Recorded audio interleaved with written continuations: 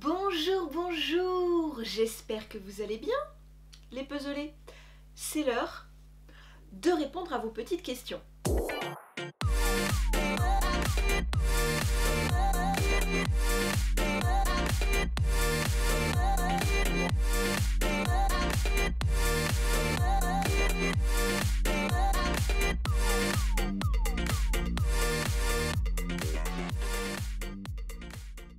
Veuillez excuser par avance ce manque félin. Euh, Papaye était là il y a deux minutes et j'ai tout installé, je me suis mise bien sur mon, fauteuil avec mon petit thé, tout ça, elle est partie. Petite vidéo réponse à vos questions donc, j'avais lancé une FAQ en, en octobre ou en novembre l'année dernière. Ça va, nous sommes fin février, je suis large. En vrai, c'est pas plus mal puisque euh, j'ai pu collecter euh, d'autres petites questions qui m'ont été posées euh, au fil du temps sous mes vidéos. On est sur une vidéo complètement à la cool. Hein. J'espère que vous avez prévu de quoi vous restaurer. Moi, j'ai mon petit poire, enfin mon grand poire, devrais-je plutôt dire, caramel noisette. On est bien. En plus, je suis installée dans mon nouveau fauteuil que je vous ai montré sur Instagram, un petit fauteuil de tournage. Là, je, bah, je suis au max. Je peux pas être mieux. Alors, j'ai divisé les questions en deux parties, suivant si elles me, si elles me concernent ou si elles concernent la dernière pièce. Euh, je pense que c'était euh, intéressant de scinder, euh, de scinder les deux. J'ai pas, du tout, pas du tout pris le temps d'y réfléchir. Je les ai juste compilés dans un document pour ne pas avoir à, aller les chercher sous les vidéos, etc. Mais j'ai pas réfléchi aux réponses pour que ce soit le plus spontané possible. Par contre, je suis en train de me dire que j'ai pas du tout repris les pseudos quand j'ai compilé les questions, donc veuillez me pardonner, je ne sais plus euh, qui m'a posé quelle question. Donc, première question, euh, technique, quel appareil photo utilises-tu? Donc, je filme avec deux appareils photo pour, euh, pour ces vidéos. celui avec lequel je filme là actuellement qui est un Reflex Canon 6D Mark II dont je suis extrêmement contente. Il est vraiment de très belle qualité.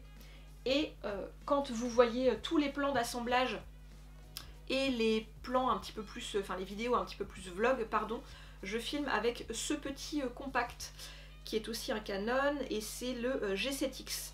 Mais plus ça va, moins j'en suis contente parce que je le possède depuis très longtemps maintenant. Je filme avec depuis très longtemps, puisque, c'est avec lui que je filmais les vidéos pour mon ancienne chaîne YouTube. Parce que oui, j'ai une autre chaîne YouTube, pour les personnes qui ne me connaissent euh, qu'ici. Et, oui, je sens que bah, je sens qu'il commence doucement mais sûrement à, décliner un peu hein, au niveau de la, qualité, tout ça, et du son, surtout du son. Puisqu'en fait, donc là j'ai un micro qui est un petit micro Rode. Euh, qui est euh, branché en fait sur, euh, sur mon réflexe. Mais là, j'ai pas possibilité de brancher un micro. Et du coup, quand je filme, par exemple, dans la dernière vidéo, j'ai filmé des plans à la fois avec le réflexe et à la fois avec celui-ci. Et on a une énorme différence de qualité au niveau du son, ce qui ne me convient pas. Mais, mais pour le moment, je reste comme ça parce que je, bah, voudrais budgétiser en fait euh, une petite somme pour pouvoir euh, investir dans un nouvel euh, appareil plus compact sur lequel je peux brancher un micro. Mais bon, vous vous doutez bien que ça ne coûte pas 100 euros, donc j'attends. Ah et pour l'objectif, parce que vous dire quel réflexe j'utilise c'est bien, vous précisez quel objectif est monté dessus c'est mieux. J'ai quasi toujours dessus un 35 mm en fait, c'est une focale fixe de Canon qui me convient très bien, qui est vraiment, je trouve, d'un excellent rapport qualité-prix. J'espère que nous n'avons pas perdu les personnes qui ne sont absolument pas intéressées par le matériel photographique. Hein. Promis, maintenant, on rentre dans les questions vraiment puzzle. Euh, ta passion est-elle toujours une passion dans la mesure où elle est devenue ton travail? N'y a-t-il pas de la lassitude parfois? Le puzzle est-il toujours un plaisir, etc. Euh, ce sont des questions que j'ai trouvées extrêmement intéressantes euh, et, que je suis très contente qu'on m'ait posées. Je ne peux pas nier, hein, ce serait hypocrite de ma part de le faire, qu'il y a eu un changement entre l'avant, c'est-à-dire quand je faisais mes puzzles tranquillement chez moi, sans tout ce setup de tournage et avant l'ouverture de la dernière pièce, et, et, maintenant. Bien sûr que quand j'assemble un puzzle, dorénavant, dans une grande majorité de cas, je suis pas à 100% dans le puzzle puisque je dois vérifier que ma caméra est bien placée, qu'elle filme toujours, que les éclairages sont bien réglés, etc. Mais pour autant, je ne dirais pas que je prends euh, moins de plaisir parce que je sais pourquoi je le fais, en fait. Je le fais pour partager avec vous, pour partager avec d'autres personnes qui sont passionnées par les puzzles, qui adorent en faire, et ça me, met du baume au cœur. Moi, ça me met en joie de vous filmer les petits assemblages, après de les monter, etc. C'est vraiment quelque chose que j'adore. Par contre, je ne me force jamais. C'est-à-dire que si j'ai envie de commencer un puzzle ou de continuer l'assemblage d'un puzzle en cours, mais que je n'ai absolument pas envie de filmer, que j'ai vraiment envie de faire ça tranquillement euh, sur mon canapé, par exemple, avec un, petit film en fond, eh bien je ne filme pas. Et vous ne verrez pas euh, cette partie de l'assemblage. Il y a aussi des moments dans la journée où euh, je m'interdis, entre guillemets, de filmer. Je crois que je vous l'avais précisé dans ma première vidéo, foire aux questions, dont je vous remettrai le lien dans le petit i et en barre d'infos. Euh, moi j'aime beaucoup commencer ma journée et terminer ma journée en faisant du puzzle. C'est vraiment quelque chose qui me permet vraiment d'être bien détendu et relaxé, à la fois pour commencer la journée et avant d'aller trouver le sommeil. Et ce sont vraiment des moments où je ne filme pas.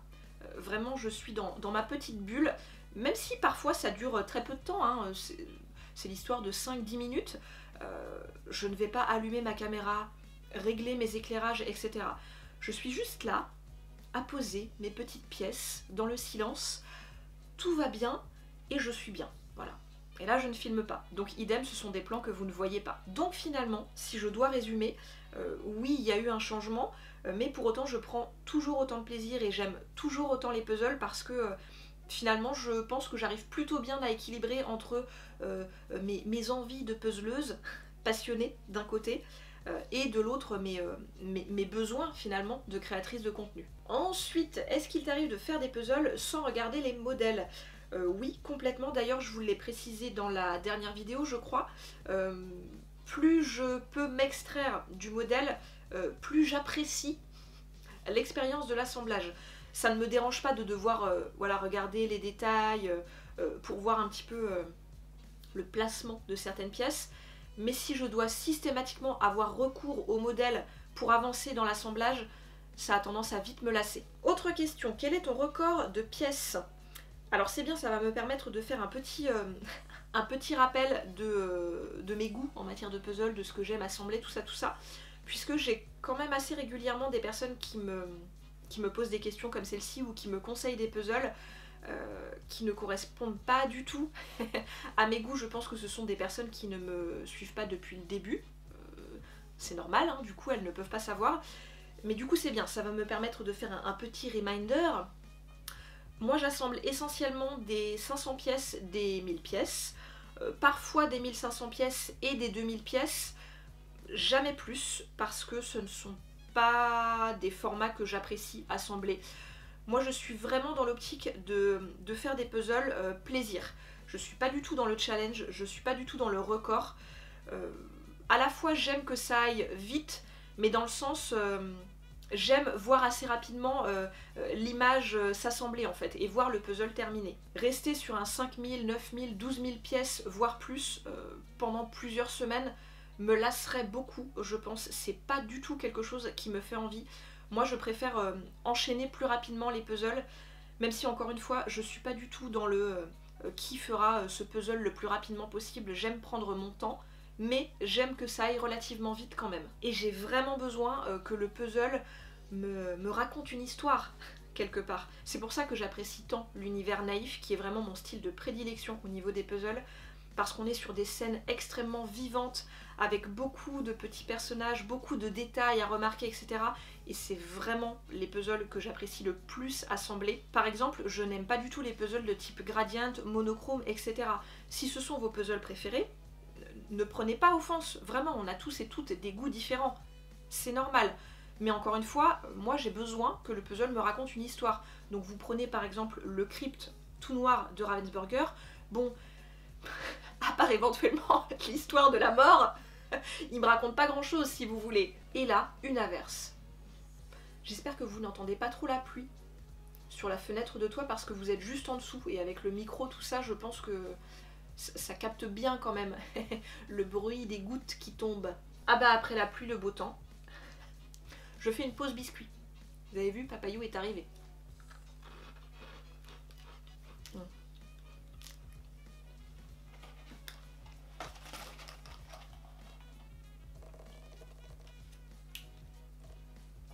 Vous avez vu cette offre en ce moment ou pas? Déjà, est-ce que vous connaissez ces biscuits? Sinon, il manque quelque chose à votre vie. Les petits fourrés euh, au chocolat de la marque Le Moulin du Pivert, que vous trouvez euh, normalement dans n'importe quel magasin bio. En ce moment, il y a moins 50% sur le deuxième paquet. Alors, euh, si tu avais 100 euros à offrir à un ou une fan de puzzle, que choisirais-tu? C'est une bonne question. Parce que, par définition, je ne connais pas forcément les goûts de cette personne. Du coup, euh, je sais. Je lui offre une petite installation euh, des familles pour puzzler tout confort. Comme ça, j'élude la question des goûts. Je ne prends pas le risque de lui offrir des puzzles qui ne lui plaisent pas. Et en même temps, je la mets bien pour, euh, pour qu'elle puzzle sans, euh, sans mots de dos. D'ailleurs, je crois qu'il y a une question à ce sujet juste après. Et vraiment, euh, ouais, tout confort quoi. Alors je ne sais pas là précisément quelle installation je lui offre, mais avec 100 euros, il y a quand même moyen d'avoir un truc sympa. Hein. Du coup, je vais chercher l'autre question justement qui est en lien avec le, le confort pour puzzler tout ça, tout ça. où est-elle? Elle est là. Comment fais-tu pour ne pas avoir mal au dos en faisant du puzzle? Alors si tu as mal au dos quand tu fais du puzzle, c'est que tu es... Euh, que tu es mal positionné par rapport à ton support. En tout cas, ton support n'est pas, euh, pas adapté soit en hauteur, soit en termes euh, d'inclinaison, dirons-nous. Moi, je vous rappelle que j'ai un chevalet Bits and Pieces qui n'est, je crois, plus du tout disponible, hein, sur lequel j'ai posé une toile à peindre que j'ai recouverte d'une feutrine auto-adhésive. C'est grosso modo un support à demi fait maison. Euh, j'en suis vraiment euh, très contente. Je vous en avais parlé dans la toute première vidéo que j'ai postée sur la chaîne. Euh, je te conseille vraiment pas de faire du puzzle à plat. Je sais qu'il y a beaucoup de gens qui n'ont pas le choix parce qu'elles n'ont pas de place et, et, du coup elles font ça soit sur leur table basse, soit sur leur table de séjour. Mais c'est une horreur pour les cervicales. Vraiment, ça t'oblige à avoir la tête complètement penchée. Et bah oui, effectivement, au bout de deux heures, t'en peux plus, t'as mal au dos. C'est normal. Il faut vraiment euh, que tu sois sur un support qui soit à une hauteur adaptée et qui soit surtout suffisamment incliné pour ne pas que tu aies à devoir systématiquement euh, pencher la tête quoi. À la base on fait quand même du puzzle pour euh, se détendre, se relaxer, etc. Donc si tu te retrouves après avec un mal de dos qui te tend, hein, parce que c'est douloureux, et je sais de quoi je parle, pour être quand même particulièrement sujette aux maux de dos depuis de nombreuses années, c'est contre-productif, hein, ça ne sert à rien. Donc vraiment, euh, il faut être bien installé avant d'entamer son puzzle. C'est important. On continue. Quelle est la marque la plus qualitative selon toi? De mon côté, j'ai été déçue de certaines marques. Alors, la question de la qualité des puzzles euh, me rend un peu chafouine, hein, parfois. Je, vais vous expliquer euh, pourquoi. alors parfois, je, vois des, je vois, enfin je lis, j'entends des personnes qui se plaignent de la qualité de certains puzzles euh, à juste titre. C'est-à-dire que quand on paye un puzzle 40 euros, qu'on a des pièces qui sont franchement pas dans un très bel état euh, au global, je veux dire c'est une majorité de pièces euh, qui, est, abîmée, pliée, dédoublée, etc. Là j'entends, je, je, conçois qu'on puisse ne pas franchement être content, contente. Mais parfois, euh, je vois des personnes qui se plaignent euh, d'une qualité, bon, pas forcément folichonne, mais il n'y a rien de catastrophique, sur des puzzles à, à 13 ou 15 balles. À un moment donné, il faut quand même avoir une, certaine compréhension hein, par rapport au, au rapport qualité-prix. Oui, effectivement, chez Masterpieces, la qualité n'est pas non plus euh, exceptionnelle. Pour autant, elle est extrêmement correcte vu le prix de leur puzzle. Moi, je suis très contente de Masterpieces. Je veux dire, on peut pas demander la lune non plus, quoi. Hein. Et ça rejoint aussi la question de la fabrication chinoise. Euh, pour reprendre le cas de Masterpieces, par exemple, c'est une marque américaine qui fait fabriquer ses puzzles en Chine. avant de les distribuer dans le monde entier. à partir de ce moment-là, il y a vraiment des gens, j'en suis sûre, qui ont un a priori et pour qui leurs puzzles vont forcément être d'une qualité quasi médiocre. Non, vous ne pouvez vous ne pouvez pas dire ça en fait. D'une manière générale, je pense qu'il faut vraiment tempérer ce discours consistant à dire que le Made in China est toujours dégueulasse. Euh, c'est faux déjà et c'est très irrespectueux parce que euh, il y a de réels savoir-faire aussi là-bas qu'on ne maîtrise pas en Europe, aux États-Unis, etc. Et tout n'est pas euh, de mauvaise qualité. Vraiment, c'est faux. Il n'y a pas de certitude en fait. C'est très aléatoire. Euh, le SICO que je suis en train d'assembler est fabriqué aux États-Unis. Il est de moins bonne qualité que les masterpieces que j'ai eu l'occasion d'assembler ces dernières semaines et qui sont fabriqués en Chine. Honnêtement, je n'ai jamais eu à assembler un puzzle euh, d'une telle mauvaise qualité que ça m'en a gâché l'assemblage. Oui, parfois il y a des pièces qui sont euh, abîmées, un peu pliées, etc. de là à crier au scandale, non. Du coup, pour conclure sur cette question de la qualité, euh, quelle est selon moi la marque la plus qualitative? Je ne peux pas répondre à cette question en fait. Euh, déjà parce que je n'ai pas moi-même testé toutes les marques de puzzles qui existent dans le monde, et surtout parce que c'est trop aléatoire. Même au sein d'une même marque, certains puzzles sont fabriqués à un endroit par une usine et d'autres à un autre endroit par une autre usine. Parce que suivant euh, les dates de lancement, de sortie de certains modèles, le fabricant A ne va pas pouvoir tenir les délais et du coup la marque va aller voir un fabricant B, etc. Donc même au sein d'une même marque, il peut y avoir des différences de qualité. C'est beaucoup trop aléatoire euh, pour avoir une réponse unique en fait. Je crois qu'on a fait le tour euh, des questions me concernant. Du coup, on va pouvoir passer aux questions qui sont, euh, bah, qui sont plus axées la dernière pièce, qui est si jamais vous débarquez ici avec cette vidéo, euh, la boutique de puzzle que j'ai co-créée avec trois associés absolument fantastiques. Alors, comment s'est constituée la team LDP Est-ce que toute l'équipe est adepte des puzzles? Comment s'est constituée la team La Dernière Pièce? Euh, Alors, dans la team, il y a Claudia, Xavier, Virginie et moi. Déjà de base, avec Claudia, on est... Euh, genre, on est comme ça. C'est-à-dire que Claudia, c'est comment vous dire, euh, ma personne préférée de tout l'univers intersidéral. Voilà, mon tofu, je te fais des gros bisous. Xavier est l'amoureux de Claudia, donc c'est pareil, hein, euh, je suis pas allée le chercher bien loin. Et Virginie, à la base, est une abonnée qui me suit sur les réseaux sociaux depuis un bout de temps, avec qui on parlait très régulièrement de puzzle avant d'envisager l'ouverture de la dernière pièce.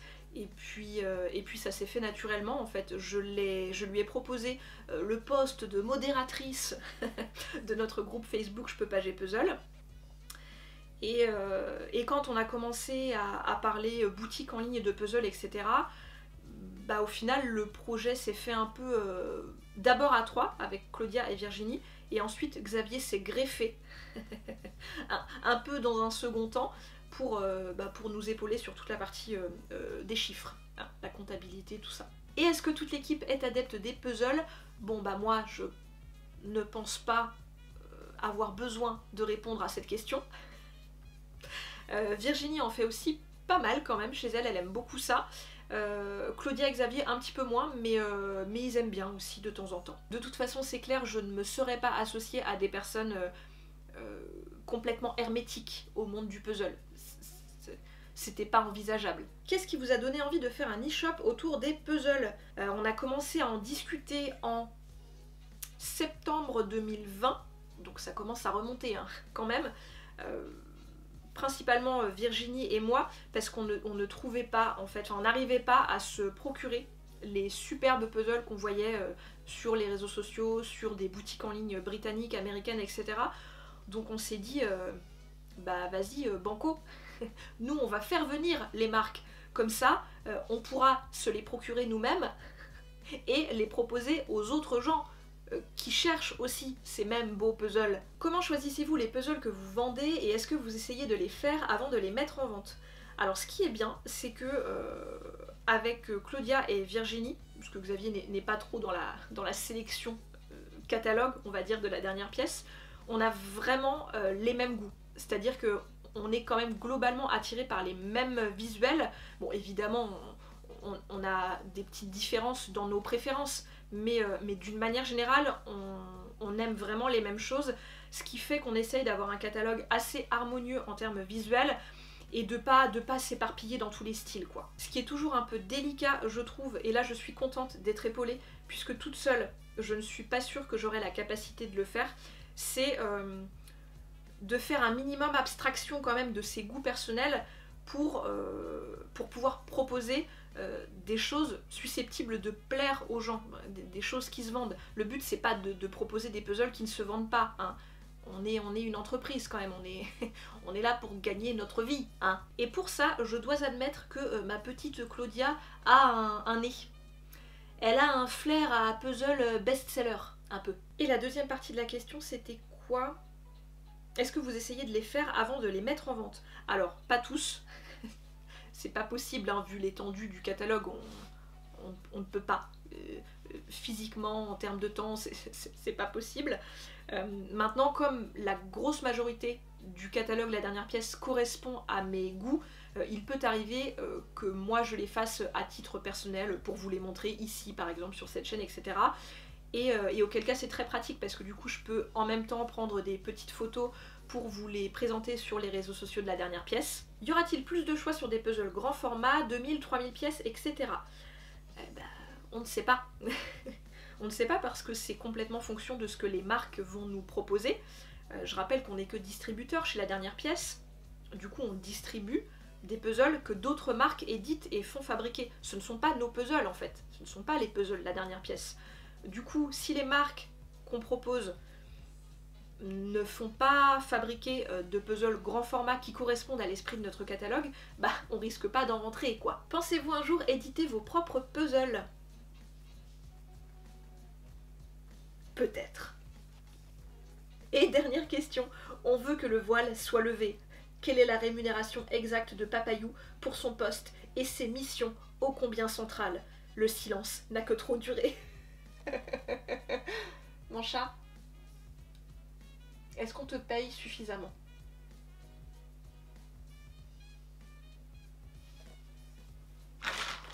Tu veux une petite friandise? Tu en veux ou pas? Franchement, j'ai vraiment de la chance parce que Papaye est très bonne patte lorsqu'il s'agit de faire des photos, notamment pour vos petites cartes postales à glisser dans vos colis. Et, euh, vraiment, elle, enfin, elle bouge pas quoi. Tu en veux? Est-ce que tu en veux? Oui, bon, je la pâte avec les gourmandises, hein. Mais c'est pas ce qui fait que qu'elle va être plus euh, coopérative. Elle est pas du tout, euh, elle est pas du tout gourmande. C'est pas la nourriture n'est pas euh, au centre de, ses priorités, si vous voulez. La preuve, hein, ça c'est son petit sachet de gourmandise euh, spécial photo. Euh, je laisse ça là dans le bureau, complètement à sa portée. Elle y touche pas. Hein.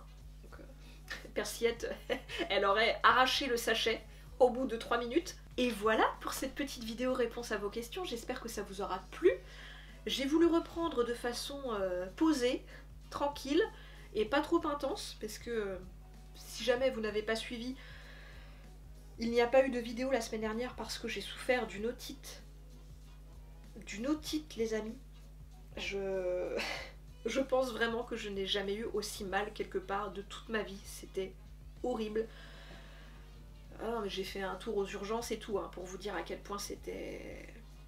Et là encore, je, sens que je suis encore fatiguée. Vraiment, je vais mettre du temps à m'en remettre, je pense, et c'est encore un peu sensible au niveau... Euh, euh, au niveau ORL. Donc euh, on reprend doucement mais sûrement. Hein.